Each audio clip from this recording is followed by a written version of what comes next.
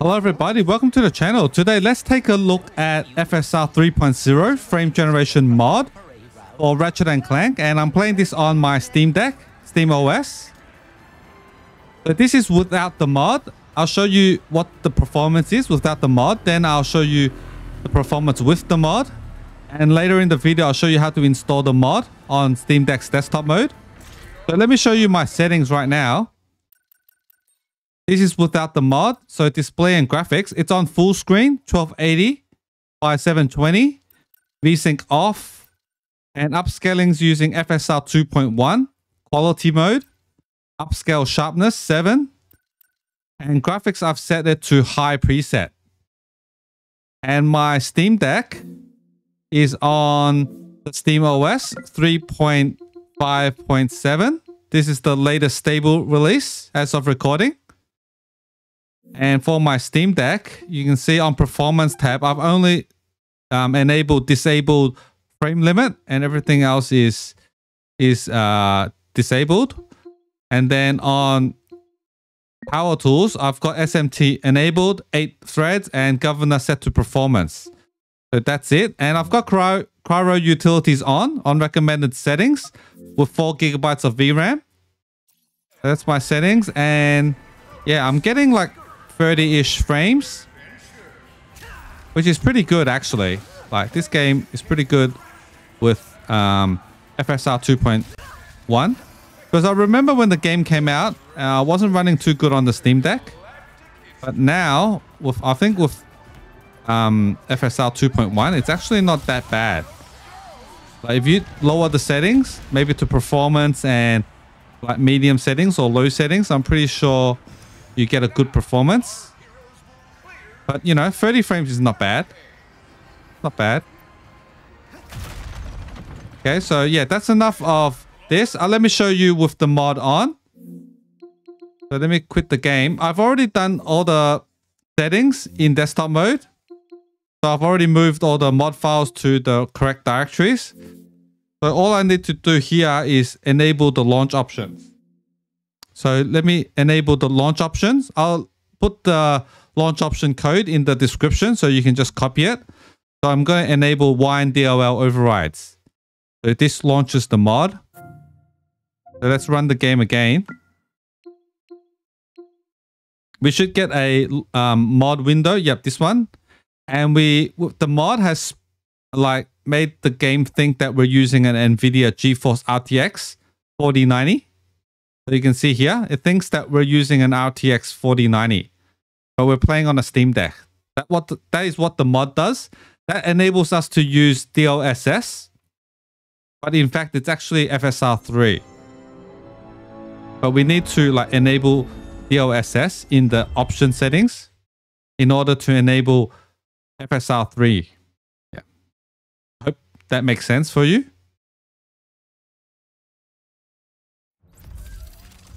Okay. Go to our game. You go to settings. You have to go to display and graphics. And now on the upscale method, we have to change to DLSS. This wasn't like DLSS wasn't an option before the mod because we're playing on the Steam Deck. It doesn't have that option. But now because the game thinks we're using an RTX 4090, we can change it to DLSS.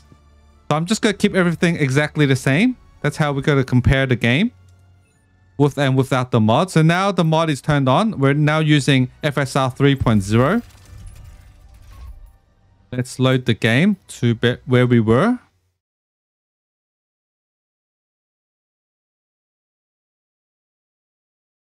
Okay.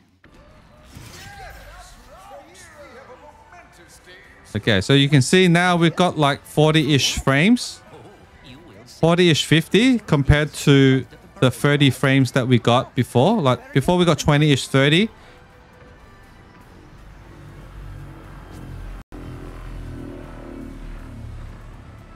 So yeah, pretty good. Pretty good boost.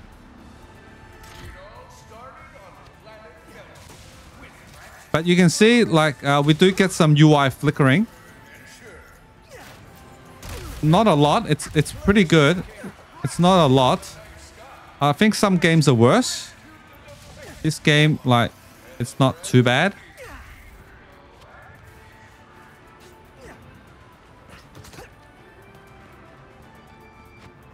Alright, we're getting like 50, uh, 60 here. Right. Yeah, so the mod definitely works for this game. It's just that we need to iron out that flickering.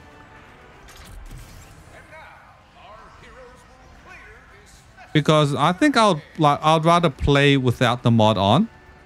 Because like it's not too bad. Like FSR 2.1 for this game, it's not that bad. It runs pretty good on the Steam Deck. So, you know, I'd rather play the game without the flickering. But I'm pretty sure it might get ironed out soon. Like games like Alan Wake 2, Cyberpunk, I've, I've been playing that with this mod on.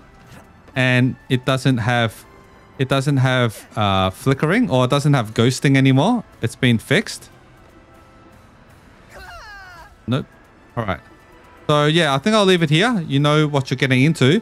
So I'll see you back in desktop mode where I'll show you how to install the mods. So see you back in desktop mode.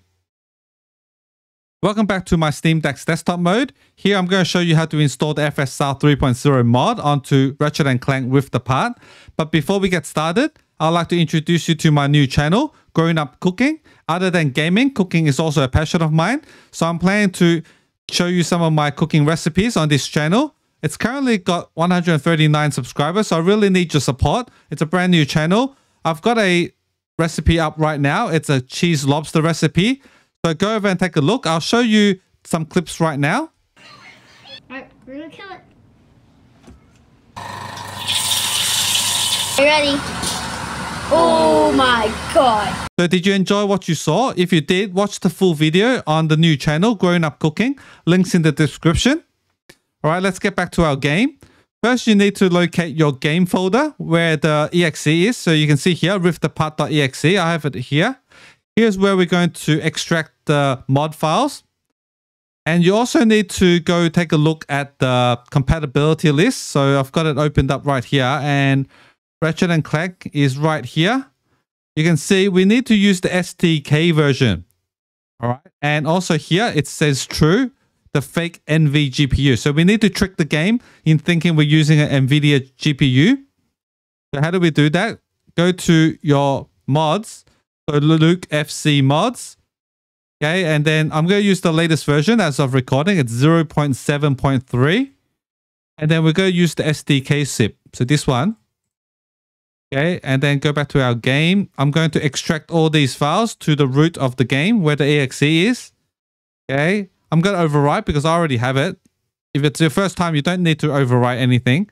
And then we also need to extract this, extract the enable fake GPU, right? Because we want to fake it. We want to trick the game in thinking we have a NVIDIA GPU.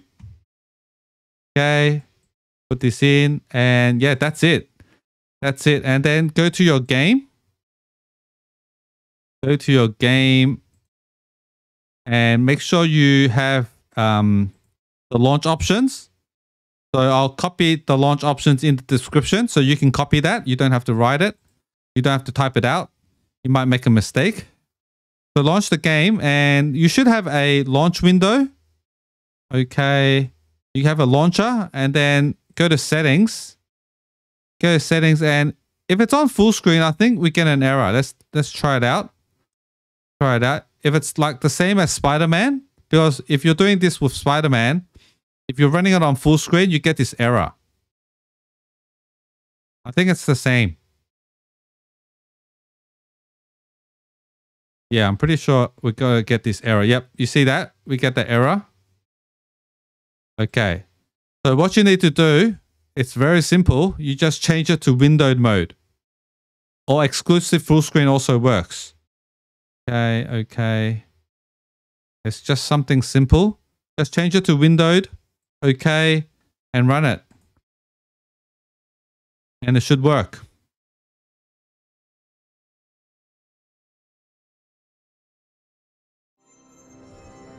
Yep, there you go. You see now the game works. See if we can boot into the title screen.